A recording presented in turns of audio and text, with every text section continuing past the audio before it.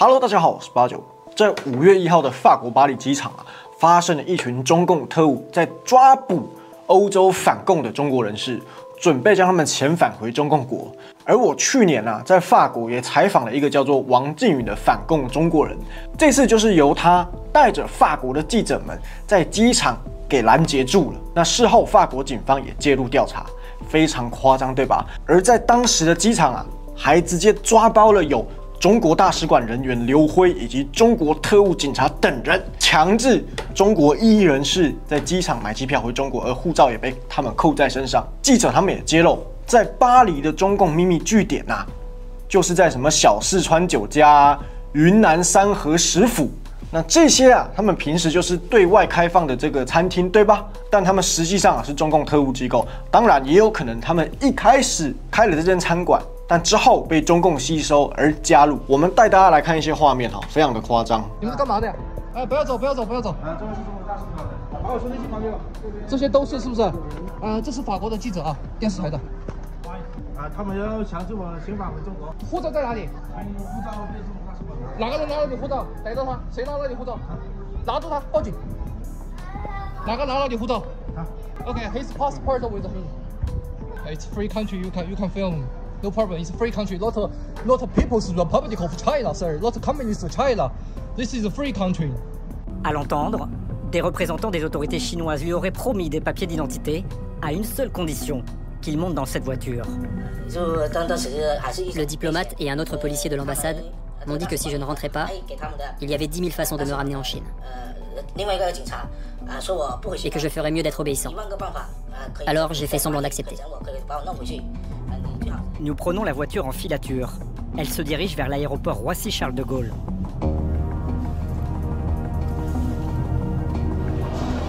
We cannot follow him. Ling est escorté jusqu'à la porte d'embarquement d'un vol pour Canton. Il est entouré par des membres d'une association d'amitié franco-chinoise, Amour Cœur Uni, reconnaissable à leur gilet rouge. Ils ont l'air de lui souhaiter bon voyage. Puis, nous le perdons de vue.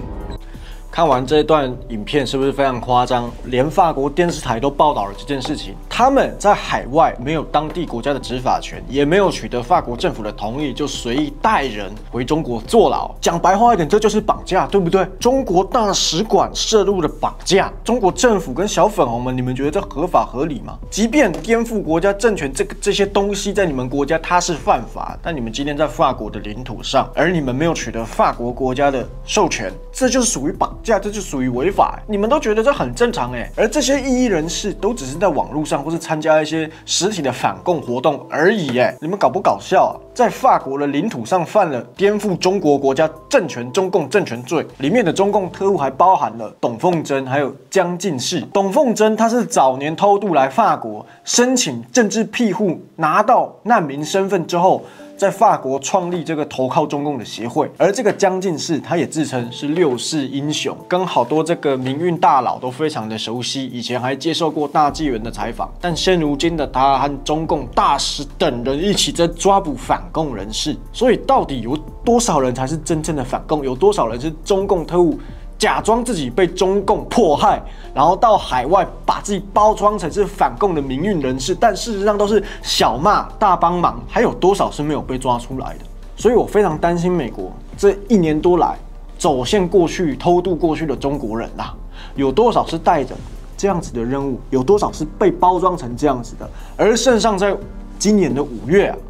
准备出访法国、匈牙利等三个国家，所以我再次强调，给那些把中共幻想的非常天真浪漫的台湾人啊，远在欧洲的国家都有中共的特务，中共也这样大辣辣的机场抓人跟踪。请问近在咫尺的台湾，怎么会没有中共间谍跟中共的代理人呢？你们有没有动头脑想过啊？今天民进党竟然替国民党挡掉了民意代表前往中共国。如果你接触到中共的这个党政军官员呐之类的，你需要跟我们自己国家申报，民众党直接退回，连讨论都不想要讨论呢。法国的那些中共特务在台湾是谁呀？我还看到有小草呛，那你这个台派政党怎么八年前不做，现在才来做？对啊，就像二三十年前，你怎么不去读大学呢？你为什么一定要先读完小学、国中、高中才能读大学呢？所以你知道你自己讲这句话有没有逻辑啊？本来就是循序渐进的，你一年内怎么没有做完二十年份的工作？那就是你烂嘛，是不是？这这就是一样的逻辑嘛。当然，肯定还有人会说什么中共特务跟大使抓人到机场买机票回中国，但是事实上看起来没有什么强制力啊，他们也没有枪啊，还有刀啊，对吧？而且是在公共场合之下，你可以随时逃走啊。但为什么这些异议人士会自愿被遣返啊？很简单啊，影片里面刚刚不是讲了，他有家人在中国啊，他有一万种让你回中国的方式，看他想不想要。有人还被威胁要打断他哥哥的双脚，毁掉他哥哥的繁殖功能的地方啊！所以回到我先前在一些影片有提到的观点了，你只要有肉票在中华人民共和国境内，中共想让你回国，或是反吸收你当成中共的间谍，甚至破坏当地国家的民主主导权，都是在他，而不是在你。而台湾人不属于中共国人，所以台湾人在海外几乎没有遇到。中国反共人是同等的待遇，对吧？但如果你跟这些中国异议人士一样，长期做反共的活动，例如我，而你主动踏入他们的领土，那你肯定死路一条。先前还有一堆脑破的小粉红跟这个舔共台湾人说，中共看不上我，我去中国旅游很安全的，笑死人呐！你知道法国机场其中一个被遣返的反共中国人，他在网络上反共的影片点阅率每部都不到一百人观看呢。这样的人都可以被中共逮捕了，你们真是一群坏逼啊！你们肯定也是知道我过去会被抓，而且你们很想我被抓，所以嘲讽我不敢过去，所以中共看不上我。哎，这种爱面子的激将法就不用了，对不对？就像我说，哎。你小粉红跳岩浆啊，田光台湾人你跳岩浆啊，岩浆非常安全的，岩浆一点事都没有，你还可以在岩浆里面游泳，你又不敢跳岩浆，又抹黑去岩浆里面游泳会死人，所以证实岩浆都是被你们这些反岩浆媒体渲染。其实你一点都不重要，你跳到岩浆，岩浆才懒得理你的一群坏逼。而最近连一堆韩国艺人团体都开始辱华了，这些。放到最后再说。我们知名的台湾舔共艺人张韶涵，前天呢在江苏的时光演唱会开唱，不过却被摇滚区前排的观众发现，还有一股屎味飘出来呢。而五月一号晚上啊，还一度登上了中国的热搜。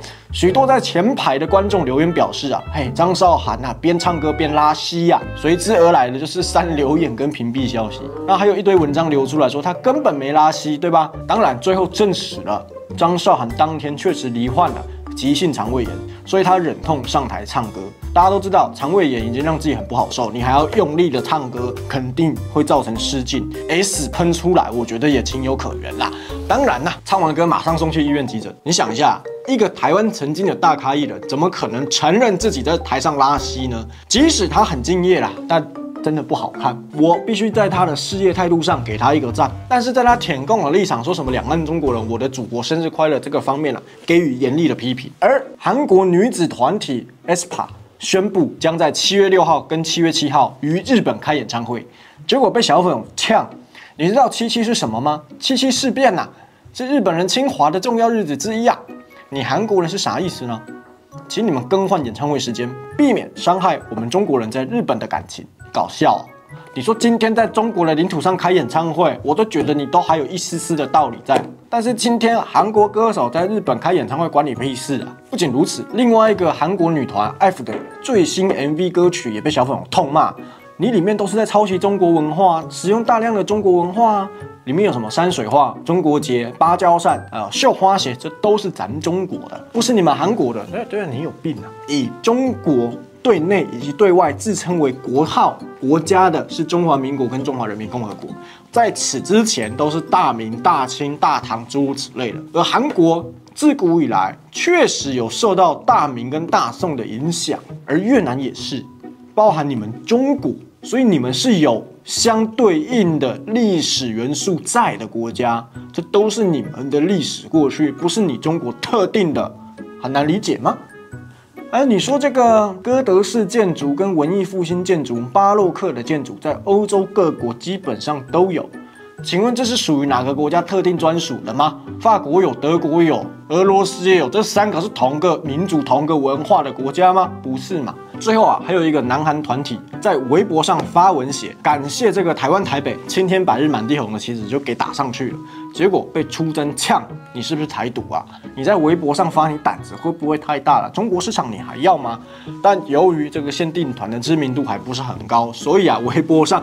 仅有七个小粉看到留言，如果是什么高人气团体，肯定是文章就直接下架，然后呢发出道歉声明。咱们韩国公司啊，坚持一中原则。影片的最后带大家来看一下小粉红的这个精神状况哈，叫做傻什么梦的 B 站小粉红，它里面都是发一些什么日本旅游啊、日本动漫啊，对吧？还放一个二次元的图片。他发文表示没事啊 l o s o n 富士山这个商店虽然关了，没关系，我已经去过了。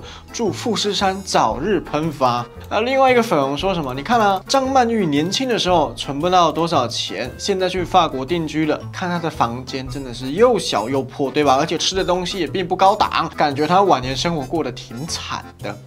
在九九六零零七这样环境的粉红，然后休假跟法国完全不可同日而语，在嫌日本，却在嫌欧美，一逮到机会又想要去这些国家定居，然后给中共当间谍、当特务。今天影片到这里结束，喜欢记得订阅，不想记得一定要把我封锁。我是八角小见了，拜。